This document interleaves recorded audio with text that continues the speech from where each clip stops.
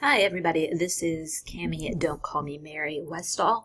Um, and it looks like a lot of you have gotten off to a good start with the course, but I just wanted to give you a little more of a um, overview and sort of guide you through some things uh, as we hopefully get off to a good start for this semester.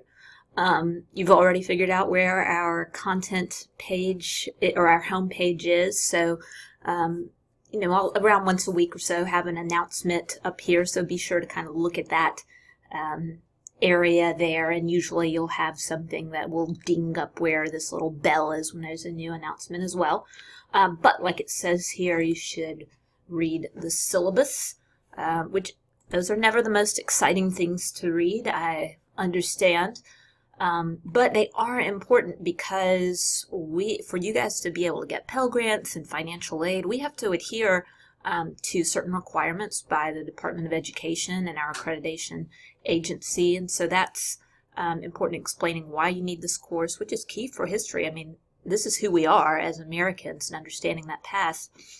And also learning outcomes that are expected uh, among you guys. And so for you to be eligible for financial aid and Pell Grants, like I said, the um, they are holding us accountable to see that you guys, they expect, will be able to communicate um, more effectively through written assignments here. And thankfully for this class, we don't have to worry about meeting mathematical competencies, but develop critical thinking skills, um, use better technology.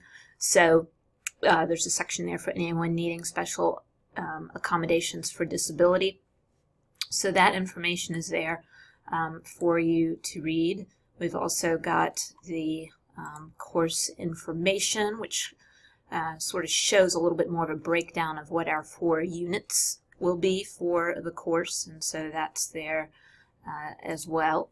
And as we just sort of move forward, we've got um, a quiz that you need to take for all of your classes. So this is another thing that's important by, from the Department of Education is you guys, especially for online classes, um, you are who you say you are. They want to ensure that you're um, uh, declaring that no one else is going to take these tests for you. So be sure to take that syllabus quiz once you read that. Um, and that's also posted under the quizzes tab. But it's seven questions, really important to take that for um, all of your courses. Um, there's some information here that's more specific for our course, information on the textbook, um, uh, our test breakdown, um, no late work accepted, uh, because assignments are all open for multiple days. We'll talk more about plagiarism as we get to that point, but that's going to be an important thing for online classes and proving that you're doing the work and that you're thinking through it yourself. Um, some optional extra credit at the end, which we're going to hope nobody needs that, right? And then email, um, I'll get back to you. It's easy to email me just from the, the class list. All you have to do is click on my name and uh, it will uh, come straight to me.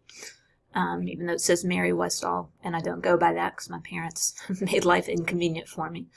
Um, so we go back there. We've got um, a rubric for grading your test and for what to expect for the content discussions and chapters once those come on. Plagiarism link.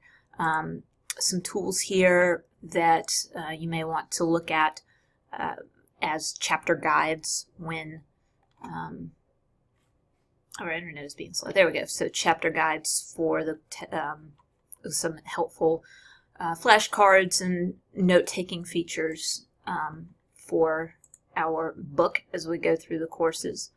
Uh, your second, um, oh, I already got one thing, but there's information on a proctored test because your final exam um, and also your second exam must be proctored, so there's information on that. Um, a primary source paper towards the end of the, the semester that we'll talk about later um, as well. And then there's a printable if you want to print this out and have it near your usual computer station or just refer to it online here. Um, this has the, the due dates and the dates of availability um, for your assignments here. So hopefully that'll be helpful since uh, for those of you who like to have a paper in, in, front of you and be able to check those off as, as we go and have a list of dates um, uh, uh, available for you there. So all of those tools um, and, and, things are uh, um, available for you to look at under the um, uh, table of contents. Um, first, as you've probably seen in all your classes, that getting prepared uh, section, and then more um, information for us. My um, I just got an email, as you probably saw. Uh, my office hours are there.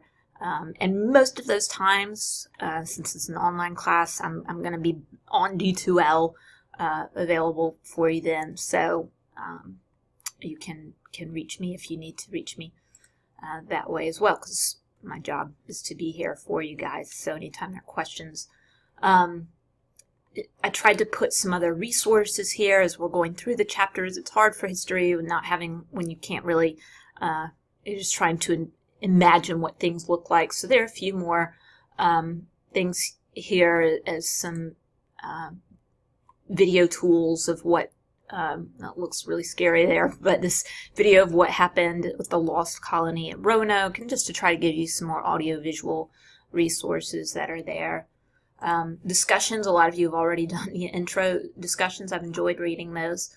Um, and once you do that, see, I have not done it, but if you have done it, you will see that there is a chapter two discussion that shows up because you need to do this to complete the introdu complete the introductory discussion to see your chapter two discussion uh, that's there. And again, those guidelines just on what to expect so that we're all um, clear on that will be uh, available on that grading rubric for discussion posts. So just kind of saying, okay, 400 words, prove that you read it. You know, if it's 382 words, it's not quite a full credit amount. So um, just doing that there, I want to see that you read the material and that you've thought about the material. Um, your tests will be available um, online there. Um, and you'll always, always be able to keep track of your grades. Uh, once it, we get closer to um, the first test, I'll hold a, a, study session that you can join. It'll if you the time doesn't permit for you, you'll be able to watch a link there. Um, but I hope it's just a great um, semester for you guys, and we'll get to learn a lot about who we are as Americans and go get them.